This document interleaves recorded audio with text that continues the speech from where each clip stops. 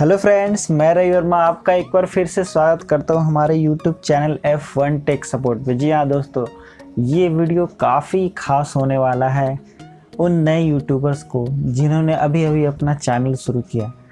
उस नए यूट्यूबर्स में मैं भी हूँ मैं भी एक नया यूट्यूबर हूँ। तो ये यूट्यूबर्स के लिए स्पेशली ये वीडियो मैंने बनाया है।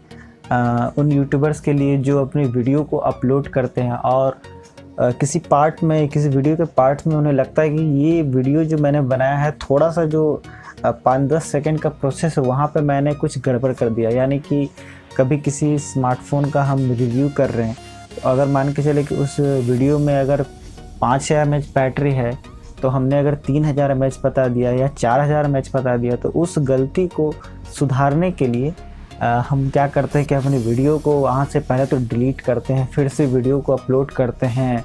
इफ़ेक्ट डालते हैं, तब पब्लिश करते हैं। तो इससे आपका बहुत, एक तो टाइम लॉस होगा। ऊपर से आपका जो चैनल उस पर बहुत बुरा इफ़ेक्ट भी पड़ेगा। आपको बहुत सारे हेट्स का सामना करने पड़ेंगे और लोग आपको तरह तरह की बातें भी कहेंगे। यानी कि आपको बहुत ही कठिनाइयों का सामना करना पड़ेगा। अगर मान के चले कि आप वीडियो को अपलोड करते हैं, सौ, डेढ़ सौ व्यू आ जाते हैं, उसके बाद अगर गलती होती है, आपको गलती अगर दिखती है, उस पर वीडियो पे हेट्स आते हैं तो लोग आपको ज़ाहिर से उस पर बुरा प्रभाव तो पड़ेगा ही, लोग आपको बुरा बोलेंगे ही।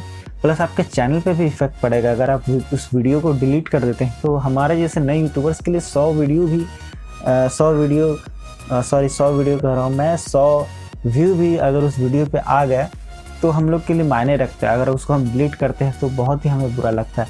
तो इस चीज़ से छुटकारा पाने के लिए मैं आपको एक टूल्स के बारे में बताऊँगा, जो कि बहुत ही ज़बरदस्त टूल्स है।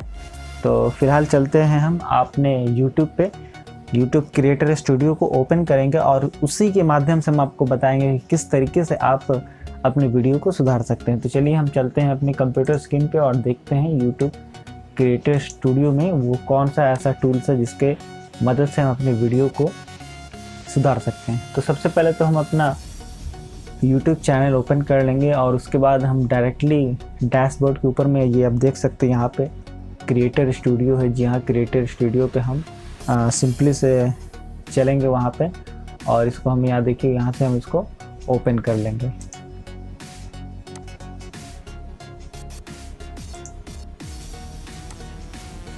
तो हम यहाँ पे YouTube के क्रिएटर स्टूडियो को ओपन कर लिए यानी कि आप इसके मदद से बहुत ही आसानी से अपनी वीडियो को जो है आप सुधार सकते हैं।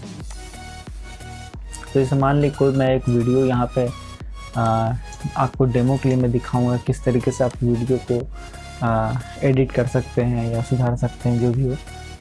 आ, किसी पार्ट्स को। तो चलिए सिंपली हम अपने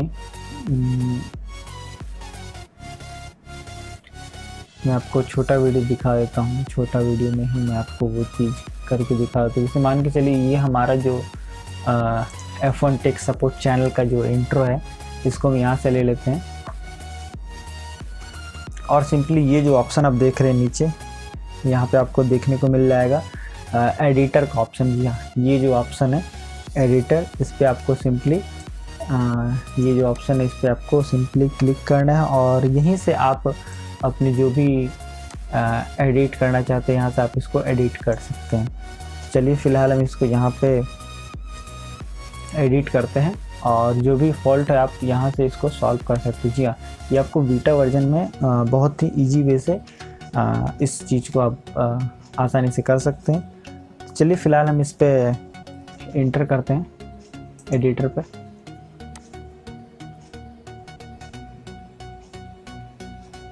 और यहाँ पे गेट स्टार्ट करते हैं। फ्रेंड्स ये बहुत ही सिंपल प्रोसेस होता है। अगर आप एक यूट्यूबर हैं, नए यूट्यूबर हैं तो आप एडिटिंग हल्के फुल्के जान ही गए होंगे इतने समय में।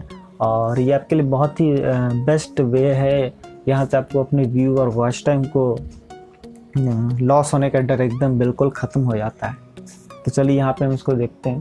सिंपली से ये जो आप टाइमलाइन देख रहे हैं ये टाइमलाइन है।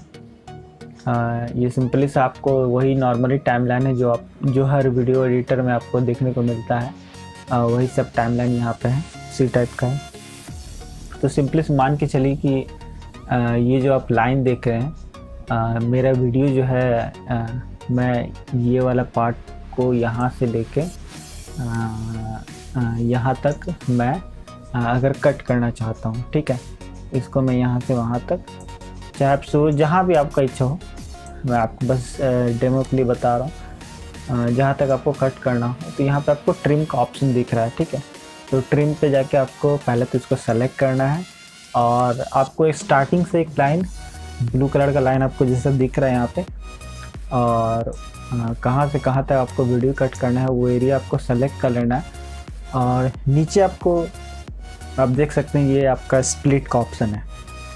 जी हाँ ये जो स्प्लिट का ऑप्शन है यहाँ पे सिंपली आपको आ, ये जो ऑप्शन आप देख रहे हैं स्प्लिट सिंपली आपको इसे सेलेक्ट कर लेना तो चलिए इसको हम सेलेक्ट करते हैं और ये वीडियो हमारे यहाँ पे जहाँ से हमने कट करना चाहा था ये वीडियो पार्ट यहाँ पे कट हो जाएगा।